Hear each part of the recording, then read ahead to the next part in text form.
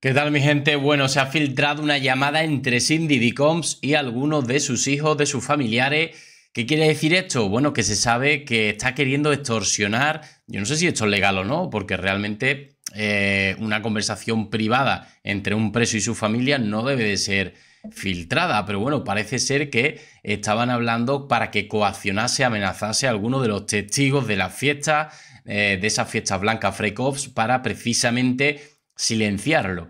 Claro, esto cambiaría mucho las cosas, porque claro, si esto evidentemente llega a oídos del juez, porque va a llegar, eh, el juez evidentemente esto lo verá como algo negativo, aunque no lo tenga en cuenta oficialmente en documento, porque es una conversación privada, pero el juez tonto no es, y evidentemente personalmente él lo tendrá en cuenta de algún modo, el hecho de saber que está intentando silenciar. ¿Qué está queriendo decir? Que está, eh, si está queriendo silenciar es porque él mismo reconoce que algo mal hizo evidentemente, ¿no?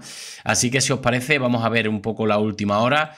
Y es que desde Infobae anuncian, revelaron que Cindy DiComs intenta obstruir la justicia desde la cárcel, contactos con posibles testigos y campañas en redes sociales, y todo a tenor de una conversación telefónica con sus hijos.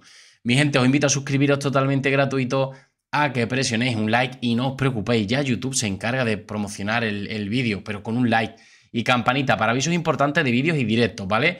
También tenéis en el primer comentario fijado el grupo de WhatsApp en el cual, pues bueno, eh, vamos anunciando los vídeos y los directos de este canal, con lo cual vais a estar al tanto por si fallara la campanita, que lo dudo. Bueno, los fiscales del caso aseguraron que el artista busca influir en los jurados para su próximo juicio por tráfico íntimo. Eh, ya sabéis que voy, tengo que sustituir algunas palabras porque quiero que este vídeo, aunque quiero que este vídeo llegue para, para todo el mundo y no tener que ponerlo para para que solamente lo vean los, mayores de edad, para que todo el mundo pueda verlo. Adolescente, que sé que también me seguís muchísimo por este caso, ¿vale? Cindy Combs intentó contactar a posibles testigos e influir en la opinión pública desde la cárcel en un intento de afectar a los potenciales jurados para su próximo juicio por tráfico íntimo, según advirtieron los fiscales del caso en un documento judicial que insta a un juez a rechazar su última solicitud de fianza. Las acusaciones del gobierno se realizaron en un documento del Tribunal Federal de Manhattan presentado el viernes por la noche que se opone a la última protesta de fianza de 50 millones de dólares, al cambio unos 47 millones de euros del magnate de la música. Se ha programado una audiencia de fianza para la próxima semana. Bueno, yo creo que por más que sigan solicitando, que no, no sé por qué no suben el dinero, seguramente si subieran el dinero, subieran un poco la cuantía, de los millones de dólares seguramente podrían dejarlo libre, pero bueno, no libre, bajo fianza me refiero. No sé por qué no, no la suben. Entiendo que tampoco puede subirla más. Fijaros que se calcula que a día de hoy, según el número de afectados y de denunciantes, eh, tendrían que darle entre un millón y medio y dos millones de dólares a cada eh, persona que habría denunciado, con lo cual no gastaría toda la fortuna, pero sí que con el gasto de abogados ya sí se quedaría prácticamente a cero, en bancarrota, con lo cual entiendo que está muy, muy ajustado. Fijaros que tiene 400 millones de dólares Diddy Combs, eh, pero no obstante, son tantos los denunciantes que si os ponéis a multiplicar prácticamente eso, entre eso y la defensa entre bufete de abogados y demás, evidentemente se se le va la cuantía, ¿no?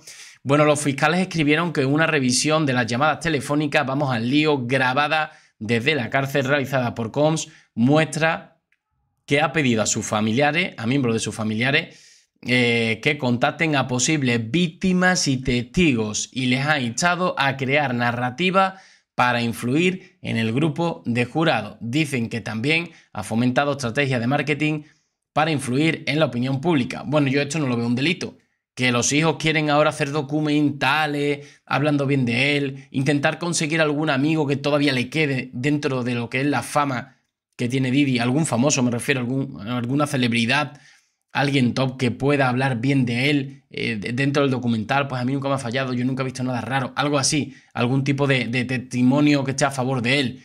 Oye, pues no lo sé, un Nicky Young, un Vin Diesel, un Mar Anthony, una Beyoncé, alguien que pueda hablar, pues a mí nunca me ha hecho nada, a mí eh, María Carey, ¿no? Con la que se llamaba también, que la quería muchísimo. Hombre, sí que es verdad que la opinión pública cambiaría si hay alguien que da la cara por él. Por ahora nadie, ¿eh? Por ahora nadie. Bueno, el acusado ha demostrado repetidamente, incluso mientras estaba bajo custodia, que infringirá las normas flagrantemente y repetidamente para impactar indebidamente el resultado de su caso. En otras palabras, el acusado ha demostrado que no se eh, le puede confiar el cumplimiento de reglas o condiciones, eh, escribieron los fiscales en su presentación. Asimismo, escribieron que se podría inferir eh, de su comportamiento que Combs quiere chantajear a las víctimas y testigos para que guarden silencio o para que proporcionen testimonios que favorezcan a su defensa. Evidentemente, este es uno de los motivos por los cuales no se le quiere dejar eh, en libertad. No obstante, ya lo está haciendo mediante sus hijos, que son los únicos que sí que es verdad cierran fila, al menos públicamente, con respecto a Didi, son los únicos que públicamente están a favor de él. Y lo protegen y lo ayudan y lo apoyan. Los abogados del artista no respondieron de inmediato a las solicitudes de comentario. Los fiscales dijeron que Com, de 55 años, comenzó a infringir las normas casi tan pronto como fue detenido en el Centro de Detención Metropolitano de Brooklyn tras su arresto en septiembre. Él se ha declarado no culpable de los cargos de coaccionar y abusar de mujeres durante años con la ayuda de una red de asociados y empleados mientras silenciaba a las víctimas a través de chantaje y violencia, incluyendo secuestro, incendio premeditado y golpiza física. Dos jueces han concluido que representa un peligro para la comunidad y eh, un riesgo de fuga. Sus abogados hicieron recientemente una tercera solicitud de fianza tras el rechazo de dos intentos previos, incluida una propuesta de fianza de 50 millones de dólares. Yo no creo que incluso aunque las hubiera, pues ya, ya la han rechazado tres veces. No creo yo que haya una cuarta y una quinta, o sea, yo creo que le van a seguir diciendo que no.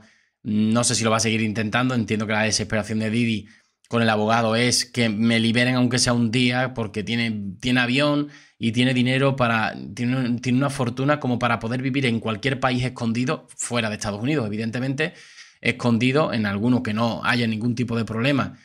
Eh, ya sabéis, paraíso fiscal, algún tipo de país que, en el cual tú vayas y, bueno, puedas estar escondido y, que, digamos, la Interpol no de contigo, lo que sea, ¿no?